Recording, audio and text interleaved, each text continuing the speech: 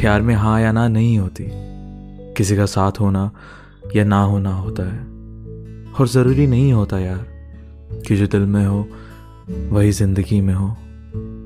अक्सर कहानियाँ बदल जाती हैं, लोग बदल जाते हैं, वक्त बदल जाता है। लेकिन इसका मतलब ये नहीं कि तुम किसी को फिर कहो ही ना कि तुम्हें उससे कितना प्यार है।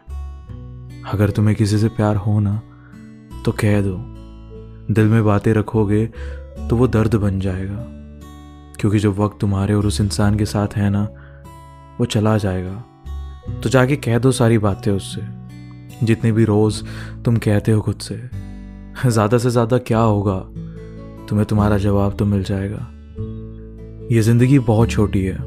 बहुत कम टाइम मिलेगा तुम्हें अपनी दिल की बातें कहने में। तो किसी की हाँ और ना से तुम इसे और छोटा मत कर देना।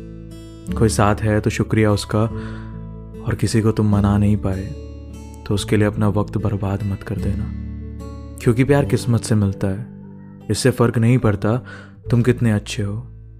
आजकल प्यार कुछ टाइम के लिए झूठ पर भी टिक जाता है, फ़र्क नहीं पड़ता तुम कितने सच्चे हो। कोई साथ किसी और के, कोई पास किसी और के, ये प्यार आसान नहीं होता दोस्त, जैसे कोई पतंग हो बिना डोर के। तो बिल्कुल भी मत सोचना। तो ये बिल्कुल भी मत सोचना कि वो इंसान क्या सोचेगा। अगर तुम्हें प्यार होगा ना उससे तो उसकी ना के बाद भी ये प्यार हमेशा रहेगा।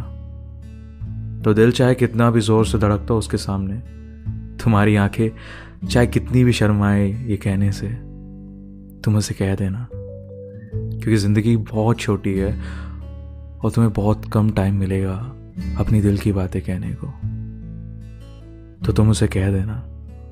यह एहसास सबको होता है, कोई ना कोई पास सबके रहता है।